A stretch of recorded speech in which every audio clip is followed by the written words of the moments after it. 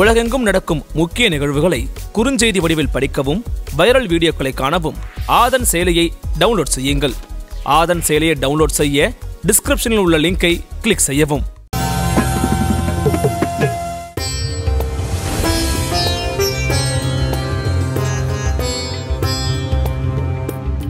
விருச்சிக ராசியின் குணநலன்களும் மற்றும் பரிகாரங்களும் இயற்கை வேறு இறைவன் வேறல்ல.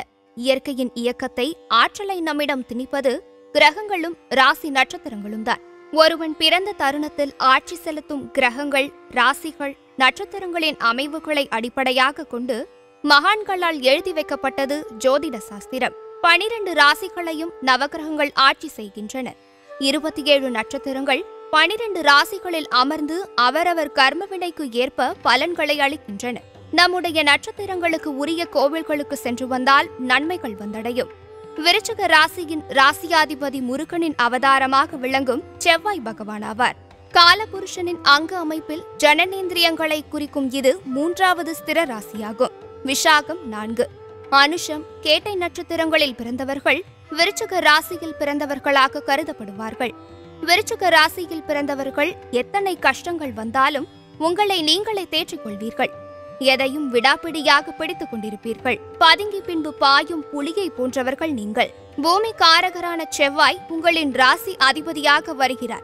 எனவே சிறிய அளவிலாவது உங்கள் பெயரில் சொத்து எப்போதும் இருக்கும். குடும்ப ஸ்தானத்துக்கு அதிபதி குரு ஆவார். வாழ்க்கையின் பிற்பகுதியில் பணவரவு சேமிப்பு போன்றவை உண்டு. உங்கள் வாழ்க்கை துணையை பற்றி சொல்லும் ஏழாம் இடத்துக்கு அதிபதி சுக்கிரன் என்பதால் உங்களுடைய வாழ்க்கை துணைவர் ஏதேனும் ஒரு வகையில் பிரபலமாக இருப்பார். கலைகளில் மிகவும் ஆர்வத்துடன் இருப்பார்.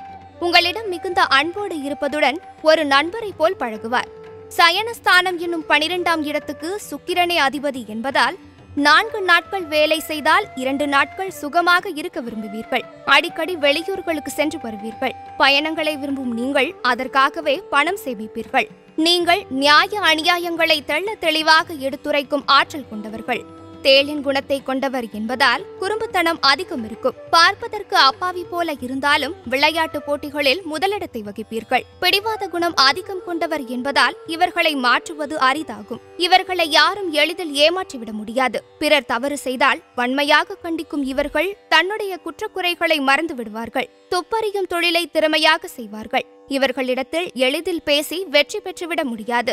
எளிதில் உணர்ச்சி வசப்படக்கூடியவர்களாகவும் இருப்பதால் இவர்களிடம் இருந்து ஒரு அடி விலகியே இருப்பது நல்லது. இவர்கள் பேசுவது கஷ்டமாக இருந்தாலும் அதில் உண்மை இருக்கும் என்பதை மறுக்க முடியாது. எந்த முயற்சியில் ஈடுபட்டாலும் தளராது அயராது முயன்று பாடுபடுவீர்கள். என்னதான் தோல்வியை சந்தித்தாலும் தன்னுடைய முயற்சிகளில் விட்டுக் கொடுக்காமல் வெற்றி பெறுவார்கள். மற்றவர்களின் எதிர்ப்புகளுக்கு அஞ்சாது பிறர் போற்றும் வகையில் வெற்றி பெற்று முன்னேறுவார்கள். சுதந்திரமாக இருப்பதையே விரும்புவார்கள் என்பதால் எல்லோரும் தனக்கு கீழ்ப்படிந்து நடக்க வேண்டும் என நினைப்பார்கள். உணவு வகையில் அதிக கவனம் செலுத்தும் இவர்கள் சத்து பொருள் அடங்கிய உடல் நலத்திற்கேற்ற பொருளையே சாப்பிடுவார்கள். சிகப்பு முள்ளங்கி வெங்காயம் சிவப்பு கோஸ் காலிஃபிளவர் நாவல் பழம் முந்திரி பழம் கீரை வகைகள் பல வகைகள் போன்றவற்றை உணவில் சேர்த்துக் கொள்வது நல்லது. காடுகளிலும் மலைப்பகுதிகளிலும் சுற்றித் திரியும் சித்தர்கள் என்றால் உங்களுக்கு கொள்ளை பிரியம். மிக பழமையான தலங்களையும் அங்கிருக்கும் சித்தர்களின் ஜீவ சமாதிகளையும் தரிசித்து வழிபடுவது நல்லது. அப்படி ஜீவ சமாதி அமைந்திருக்கும் தலம்தான் நெரூர். இந்த தலத்தில் உள்ள சிவாலயத்துக்கு பின்புறம்தான்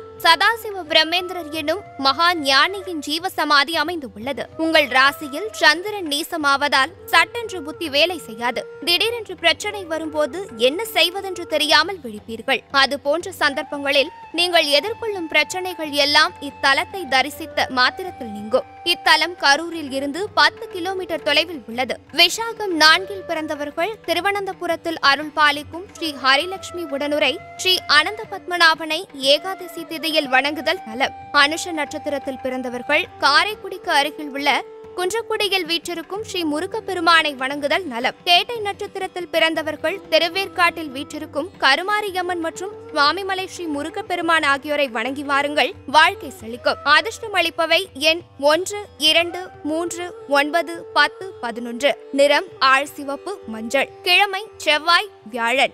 திசை தெற்கு. கல் பவளம்.